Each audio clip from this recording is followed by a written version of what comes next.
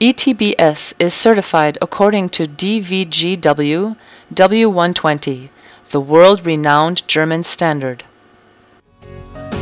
Scientific research has proven that the Etschel Jetmaster technology reaches far beyond the filter screen into the aquifer.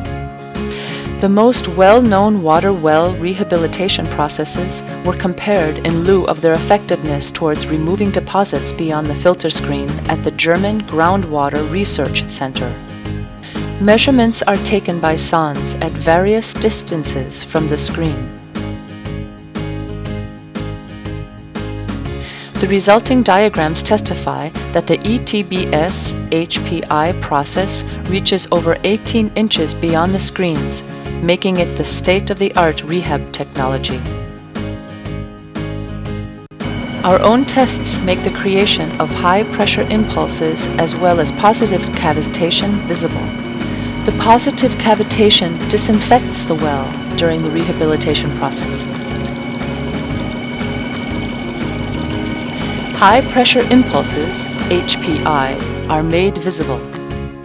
The simulation of a standard water well proves that even the hardest deposits can be loosened without damaging the well.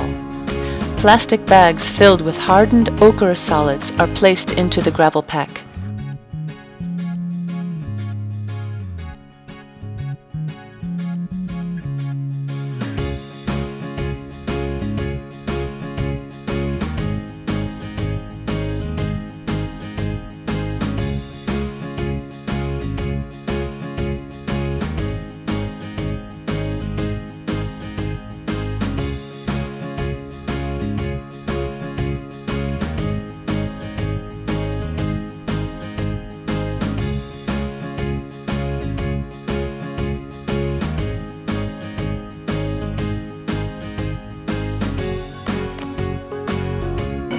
A submersible camera documents the effectiveness of the HPI process even beyond the borehole wall. The Jetmaster does its job. No segment remains untreated.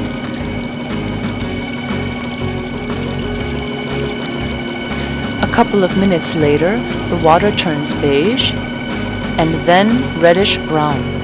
The plastic bag, but more important, the iron mangan deposits, were loosened and made pumpable.